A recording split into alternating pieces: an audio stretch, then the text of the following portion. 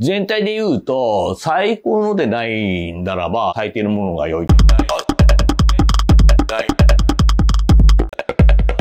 の音楽講座、トラックボールにつきまして、結論をしますと、トラックボール使ってないです。今は。というか、本気出しちゃってる時なんかは気づかぬうちにトラックボール使ってるみたいで、急いでる時とかは回すと全然これ違うんで、それで置いてはあるんですが、ほぼ使ってない。親指痛いから。トラックボールは、ずっとケンジントンのターボマウス使ってたんだけども、それないと何もできないみたいな感じで、中毒的なもので、ターボマウスはボールの重さも素晴らしいんだけど、横からもうボタンを押せるっていうのが、最初ボタンが2個で途中から4個になったのかな。とにかくずっとターボマウス使いまくってたわけですが、ずっとって言ってるのは白黒9インチモニターとかの頃からってことなんだけども、なんかその後、スクロールのホイールみたいなセンサー的なやつがついてからが、なんかそれがどうにもなんか使いこなせなくなってきて、それからロジクールのこれ？に転校というか、これもかなりの台数乗り換えてて、要はトラックボールとかって、まあ消耗品なので、ガンガン球転がしまくってのなんだけども、これは超良かったんだけども、なんでだか廃盤になっちゃって、微妙に似たようなものもその後なく、それで直近で最後に買ったのは、エレコムのこれ。これもこれで素晴らしいんだけれども、もはや親指が全然ダメでして、付け根の関節がトラックボール触ってる時だけめっちゃ痛いみたいな慢性的に。同様な感じの方々では同じ症状の人が結構いまして、要はトラックボールでのクリックのしすぎで、病院とか針とかみたいなのとか、インドメダシンとか、ものでやっても全然ダメで、それでしょうがなく親指不要なマウスを置いてるんだけども、なんか盛り上がってくるといつの間にかトラックボールでやってるみたいなことにはなってますね。トラックボールの方が全然便利ななんで。同じ症状の某大物エンジニアの方は、俺はわざわざ左手でトラックボールいじれるように訓練したとかって言ってて、それ聞いて僕もだいぶ左手でやろうとしたんだけども、なんかダメで、左手でのトラックボールマウス操作は、なんか違う気がして、なんでかなって思ったんだけど、あれですね、あの、ガーサ・ハドソンの影響ですね。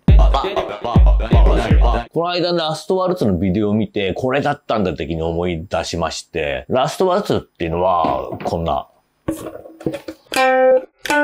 you.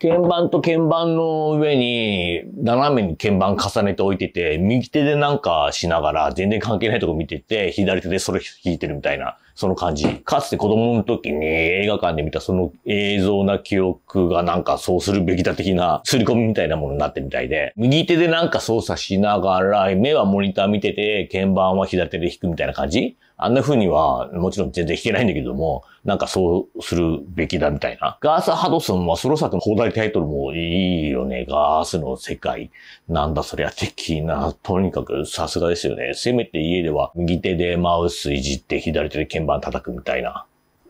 なので原則トラックボールやめちゃって、当面はマウス。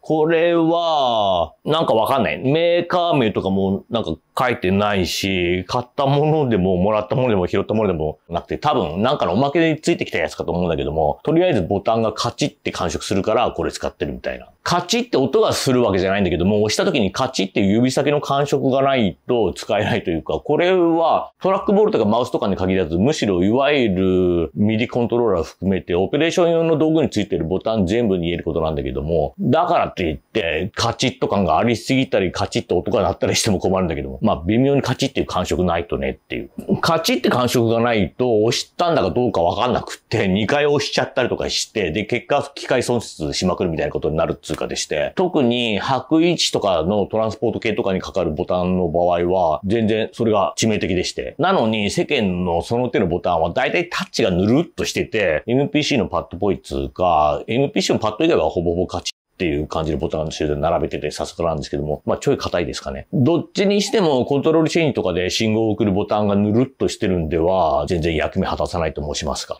そこだけで言えば、使ってたものの中で最高素晴らしかったのはベースタックスのコントローラーですね。ボタンの感触が。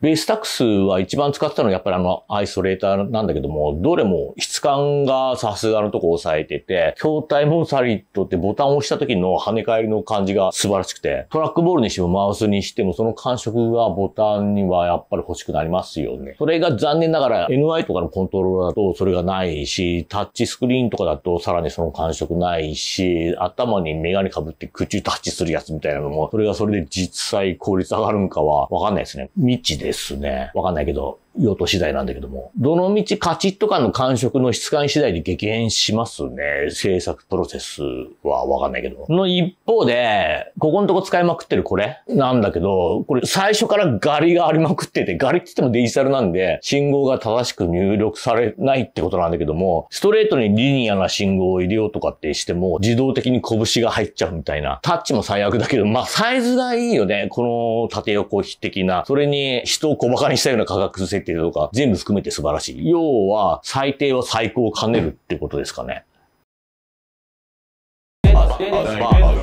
とにかくトラックボールというか親指、これは本当気をつけた方がいいですよ。すっげえ痛いから、耳と親指は。どうやって気をつければいいのかわかんないけど。そう考えみると、トラックボールが当面ダメだとして、今のところ親指痛めないで使える、使い物になるポインティングデバイスってマウスしかないのかっていうと、トラックパッドみたいなやつは、ライブで指に汗かいたりとかすると反応しなくなっちゃうし、乾いてたらそれはそれで皮膚炎で指紋なくなっちゃったりとかして、実践で本気出す場面で言うと、まあ全然でして。ジョイスティックはいいですよね。その小型の IBM の ThinkPad の真ん中から突き出てる、あの突起ポインティングスティック、トラックポイント？もういいですよね。あれって、あの、押したら変形するゴムキャップのところは、加えられた力による歪み測定してるだけで、実際には動いてないみたいで、それ聞いて、ますますさすがって感じしましたが、大きい画面での精度は試してないんで、実際音楽で使い物になるかはやってみないとわかんないんですが、あれの大型のがあれば試したいですね。どの道親指は使うことになるんだけども。全体で言うと、最高のでないならば、最低のものが良いということで、実際最低のものをは、それはそれで本当に良いっていうか、教えられることも多いですよね。最低は最高通貨最高がいいけど、まあ DTM は危険ですね。ドラムマシンで突き指したりとか。バンド、バンド、バンド、バンド、バンド、バンド、